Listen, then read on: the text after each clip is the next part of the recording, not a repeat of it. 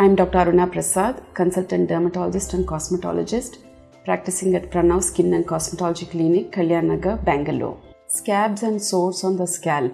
There are various reasons for the scabs and sores on the scalp. The most important thing is we need to rule out if it is any skin condition called scalp psoriasis. Here you get like scaly lesions, which thick plaques, which more or less look like white scabs, and it's very itchy. If it is that, the treatment should be underlying psoriasis. There's another condition where you can get it sores or even scabs called dandruff. We call it as seborrheic dermatitis of the scalp.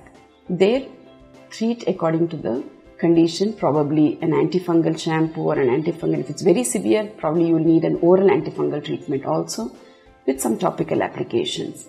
And there are other conditions where you get like hair root infections. And here we call it as scalp folliculitis.